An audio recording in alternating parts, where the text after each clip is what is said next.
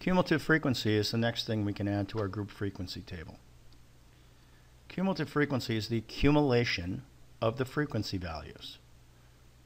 So we'll go to the bottom here. We always start at the bottom of our table. And basically, the total accumulation of the frequency from the first interval is just going to be the frequency of the first interval. So this is always going to equal this right here. Okay? And then all you do to make cumulative frequency is you take the starting value of the lowest interval and you add the frequency of the next. So it's 1 plus 3 is 4. 4 plus 0 is 4. 4 plus 2 is 6. And so on until we get all the way up to the top number 17 plus 3 is 20.